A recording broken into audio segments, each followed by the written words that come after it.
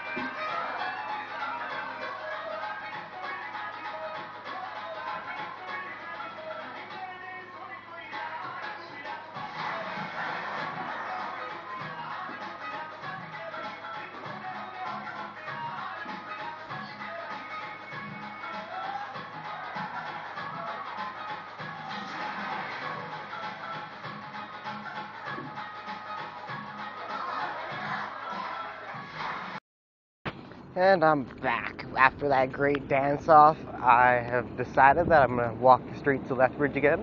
Feel free to follow my tips if you want to know how to survive on the streets of Lethbridge.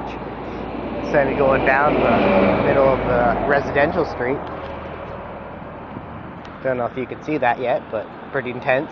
Happens here in Lethbridge. Don't have many major roads, so we have semis just kind of going wherever they, wherever the fuck they want, do whatever they want lucky if they hit a couple natives, but never know. Anyways, just follow it up. Adios.